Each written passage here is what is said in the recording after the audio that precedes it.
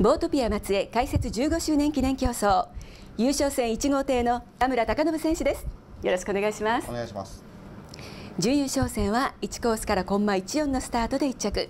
準優で唯一逃げて優勝戦に勝ち上がってこられました、はい、足の仕上がりとしてはいかがですか、えー、足は中堅ぐらいですかね。はい、はい、今回は4月5月にシンペラになったエンジンということでいろんな調整をされてきたと思いますが、はい、なかなかここという上積みというのは難しかったですか？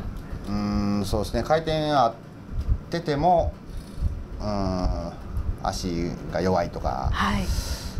うんですね、はい、今回は主力選手エンジン差があまりなかったという形で接戦だったわけですが順位終わった段階では2コースの想定でお話しされていましたが1枠が巡ってきました。はいあのー、ラッキーですね。しっかりと準優でゼロ台スタート構成を退けて逃げ切ったことが大きかったですね。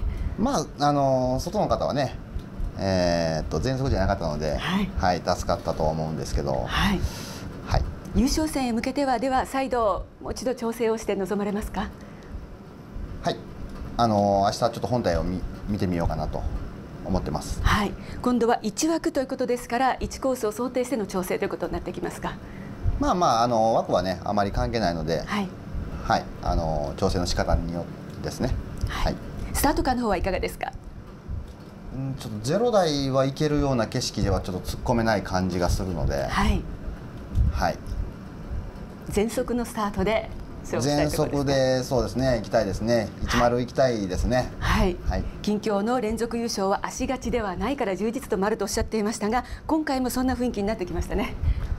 うんそうですね。まあけどここ最近の中ではちょっと悪いですかね、はい、はい、じゃあ最後を納得のいく形で締めくくりたいと。はい。はい、近況は4場所連続の優勝へそして今年6回目の優勝がかかる一戦です。ファンの方に一言お願いします、えー、優勝できるように一生懸命頑張ります。応援お願いします。